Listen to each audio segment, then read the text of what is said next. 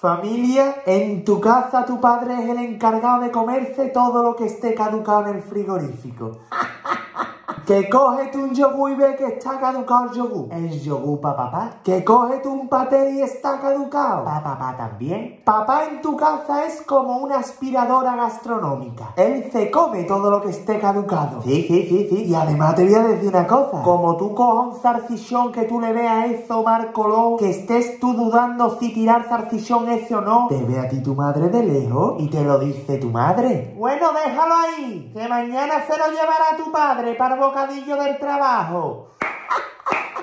¡Hostia! Como yo digo, familia, que nos vamos a cargar a nuestros padres, dándole nada cosa caduca y porquería de comer. Este es el amor que le tenemos nosotros a nuestros padres. Darle a él de comer todo lo que se está poniendo malo en tu casa. Hombre, por favor, que nada más le damos de comer porquería a la criatura. Pasa que también te lo digo. Mi padre en mi casa, mi padre en mi casa se ha llegado a comer cosas que le faltaban cuatro días para que la UNESCO le diese el certificado de patrimonio histórico de la humanidad. Mi padre se ha comido cosas que eso no es que tuviese ya color, es que eso no tenía ya ni color. Tú mirabas el trocito de queso y el queso estaba ya en sepia. Escúchame como te lo estoy contando, ¿eh? Mi padre se ha llegado a comer en mi casa filete de pollo que estaban ya en blanco y negro. Eso no tenía ya ni mal color. Botes de guinda. Guinda que llevaban caducadas desde 2001. Más de 20 años caducado el bote de guinda. Y lo coge tu padre y dice él esa frase de... Ah, esto no pasa nada, hombre. Esto le ponen una fecha de caducidad por tal de ponerle algo. Que tú dices, no sea, pa. Pero a lo mejor el tic nervioso que te ha salido a ti en el ojo de anoche para acá es del bote de guinda caducado, pa. A ver si me entiende. Que yo no soy médico ni nada de eso. Pero que a lo mejor tiene algo que ver. Que después viene el 061 por tu padre y cuando llega tu padre a urgencia, le dice el doctor, caballero, ¿ha comido usted algo en mal estado? O algo que usted crea que haya podido sentar mal y ahora coge y dice tu padre, eso habrá sido el café de esta mañana, que era de máquina y a mí el descafeinado de máquina me revuelve todo el estómago. ¿Qué dice tu je? El café de esta mañana va a ser, je. El mantecado de la noche buena pasada que tú te comiste a las 7 de la mañana. El poquito de zarcillón lamioso que tú te llevaste para el bocadillo. El melocotón en armiva caducado que tú te comiste de postre. Y el yogur caducado que tú te has comido esta noche que esto tenía ya por arriba una capita de mo. Eso no, papá. El descafeinado de máquina de esta mañana, ¿no, churrita?